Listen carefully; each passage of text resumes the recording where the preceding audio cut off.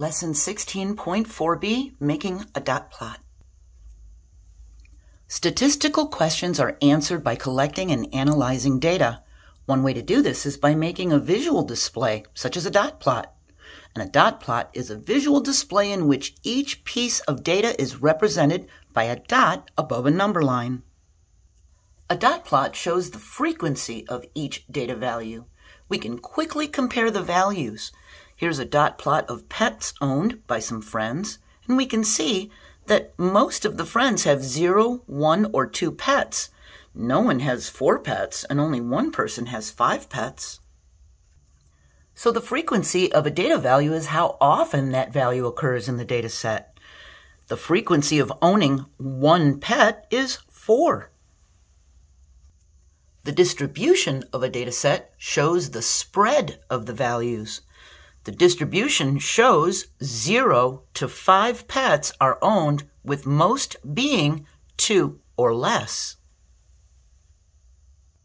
So let's try making a dot plot.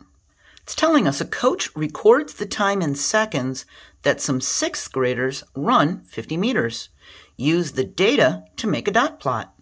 So here's the time in seconds that these sixth graders were able to run 50 meters. First thing we do is make a number line. The values range from 9 to 15.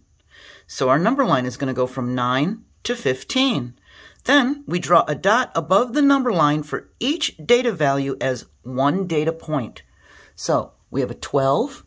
So I'm going to cross that off and put a dot for the 12. We have another 12. We have a 10. We have a 14. We have a 9. We have another 12. We have an 11. A 10. A 15. Another 12. Another 11. And 13. This is our dot plot for the students who ran 50 meters and in these seconds. We have the title of our dot plot underneath the number line. Now that we have our dot plot completed, we can reflect on the information. So how many students ran?